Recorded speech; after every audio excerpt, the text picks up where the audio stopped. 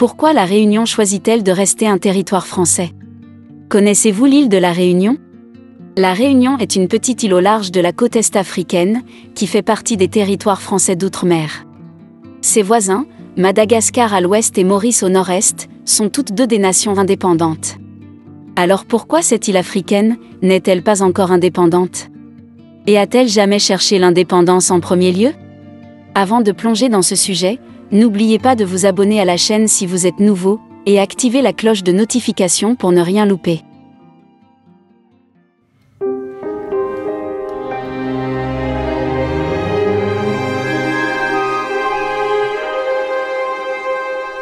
Pour comprendre pourquoi la Réunion n'a pas demandé l'indépendance, il faut comprendre son histoire. Il faut remonter au tout début. Les commerçants arabes ont peut-être repéré l'île en naviguant de Madagascar vers la Malaisie, mais n'y ont pas mis les pieds en raison de son activité volcanique hostile. Diego Fernandez Pereira, un marin portugais, est passé par l'île en 1507 et l'a nommée Santa Apollonia, mais les premiers visiteurs enregistrés à avoir mis le pied sur l'île étaient des marins britanniques. Ils l'ont décrite comme un paradis de perroquets et de tortues. Les animaux ont été décrits comme n'ayant pas peur des humains, probablement parce que c'était la première fois qu'ils les rencontraient. Les zones de pêche de l'île étaient si abondantes, que ces oiseaux étaient si obèses à cause de leur prise, ils ne pouvaient pas voler et pouvaient à peine marcher. Après cela, les Néerlandais et les Français ont tenté en vain de s'installer sur l'île. Les Français l'ont nommé plus tard l'île Bourbon, d'après le nom de la famille royale de France les colonies n'ont jamais pris racine, parce que les colons ont préféré Madagascar. Enfin, en 1664, le roi de France cède la propriété de l'île à la Compagnie française des Indes orientales.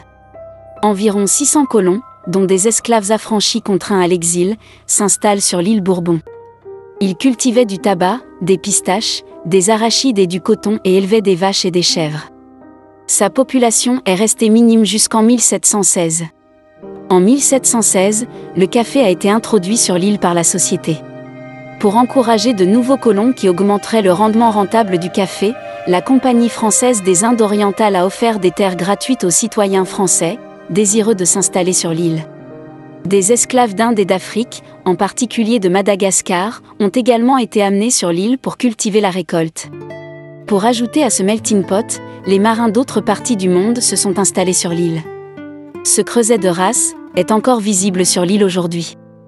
Plus tard, la Compagnie française des Indes orientales s'est effondrée, et l'île est tombée directement sous le gouvernement français une fois de plus. Le café a été remplacé par la canne à sucre, comme principale culture de rente, parce que la canne est à forte intensité de main-d'œuvre, et que davantage d'esclaves ont été amenés sur l'île Bourbon. Cela a également conduit les petits colons à perdre leurs terres, au profit de familles plus riches, qui avaient besoin de vastes étendues de terre pour les cultiver. Cela a creusé l'écart entre les riches et les pauvres sur l'île, et ses répercussions se font encore sentir à ce jour. En 1792, la monarchie française est tombée, lorsque Louis XVI et Marie-Antoinette ont été emprisonnés puis décapités. L'île a été rebaptisée, île de la Réunion, après l'union des révolutionnaires et de la garde nationale à Paris. Le nom de l'île a changé à nouveau pour l'île Bonaparte, pendant le règne de Napoléon en France. D'autres changements se sont produits sur la petite île, lorsque les Britanniques l'ont capturée pendant les guerres napoléoniennes. Quatre ans plus tard, après de violents combats, les Français récupèrent l'île, mais elle reste la Réunion. La France n'avait pas repris possession de ces autres îles africaines, et ainsi tous ses efforts pour la richesse coloniale dans l'océan Indien se sont installés sur l'île. Plus d'esclaves ont été importés, les forêts ont été coupées pour créer de la place pour les terres agricoles, et l'économie a explosé. Bien sûr, ce boom s'est accompagné d'inégalités endémiques, la plus flagrante étant que 60% de la population de l'île était des esclaves. Au début des années 1840, un garçon esclave de 12 ans allait changer à jamais le destin de l'île. Il avait découvert comment polliniser la vanille sur l'île, et il a été libéré en récompense. Au fil du temps, la vanille est devenue une exportation majeure de l'île. Cela a changé en 1848 avec l'abolition de l'esclavage. 100 000 personnes avaient désormais besoin d'emplois rémunérés, et seules quelques personnes pouvaient les fournir.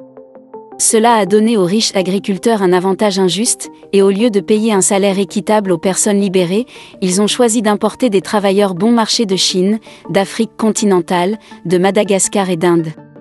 Cela a ajouté à la diversité de l'île et a encore alimenté la culture créole qui émergeait. Les créoles de l'île se considèrent aujourd'hui comme un mélange de toutes les races différentes qui se sont installées sur l'île. Ils ont une culture unique qui emprunte à toutes les différentes cultures qui ont touché l'île. Aujourd'hui, les Réunionnais sont citoyens français et l'île élit des représentants au Parlement français à Paris. En effet, en 1946, elle est devenue un territoire officiel de la France. Cela permet à la petite île de puiser dans les ressources de la France, auxquelles elle n'aurait peut-être pas accès autrement. Cela facilite également l'émigration vers la France, et une partie importante de l'île l'a fait. Et c'est la première raison pour laquelle la Réunion reste sous la France. En tant que petite île de 870 000 habitants, qui dépend principalement de l'agriculture comme principale exportation, elle bénéficie de la gouvernance française. Elle n'est pas riche en minéraux, et ses plages n'ont pas attiré les touristes comme d'autres îles, comme les Seychelles. Rester sous la gouvernance de la France semble être son meilleur pari. À son crédit, la France a investi dans les infrastructures de l'île. En 2003, la construction des routes de Tamarin a commencé. Le projet a coûté environ 700 millions d'euros, et il est le plus grand projet d'infrastructure sur l'île à ce jour. La volonté de la France d'investir dans l'île explique probablement en grande partie pourquoi il n'y a pas eu de mouvement d'indépendance. Faire partie de la France offre également à la Réunion des marchés pour son sucre, puisqu'elle fait partie de l'Union européenne à travers la France. La Réunion et Mayotte sont les seules régions ultrapériphériques de l'Union européenne dans l'hémisphère sud. Récemment, la Commission européenne, par le biais d'un communiqué de presse, a présenté de nouvelles stratégies pour améliorer le niveau de vie des populations des régions ultrapériphériques. C'est une ressource que beaucoup de petites nations insulaires enviraient. L'Union européenne offre également des possibilités de circulation de la main-d'œuvre. De plus, un quart de la population de l'île a moins de 15 ans, et ces jeunes ont besoin des opportunités d'emploi que la France et l'Union européenne peuvent offrir. Le fait d'être un territoire français d'outre-mer donne à la Réunion une stabilité dans son administration et son gouvernement. Hormis quelques manifestations dans les années 1990 et au début des années 2000, il n'y a pas eu d'agitation sur l'île. Cela ne peut malheureusement pas être dit pour de nombreuses jeunes démocraties, en particulier en Afrique, qui ont connu des coups d'État et d'autres crises de croissance dans leur quête de gouvernement stable. Une autre raison peut être retrouvée dans son histoire. L'île était inhabitée avant le XVIe siècle. Cela signifie qu'il lui manque une population autochtone, pour qui l'indépendance aurait une signification particulière. C'est la situation observée en Nouvelle-Calédonie le territoire français de la Nouvelle-Calédonie a tenu son dernier des trois référendums sur l'indépendance en 2021. À chaque fois, la population kanak indigène a voté massivement pour l'indépendance, tandis que les descendants des colons français ont voté pour rester sous la France. Pourtant, les Kanaks sont allés en justice pour annuler leurs élections et leur demande a été rejetée. Dans cette situation, la tribu a le sentiment que la France ne reconnaît pas son identité indigène. Hélas, chaque référendum est perdu, car les Kanaks sont une minorité. À La Réunion, il n'y a pas de population autochtone. De plus, contrairement aux Britanniques, les Français ont utilisé l'assimilation. En conséquence, les créoles de l'île, qui forment la majorité de la population, se considèrent comme français. L'absence d'une identité ethnique majeure signifie que son peuple ne s'est identifié à aucun des mouvements d'indépendance, en Afrique ou en Inde.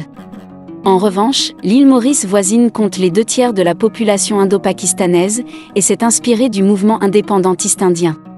Ils ne se sont pas identifiés comme français ou britanniques et ont donc cherché à affirmer leur identité à travers l'indépendance.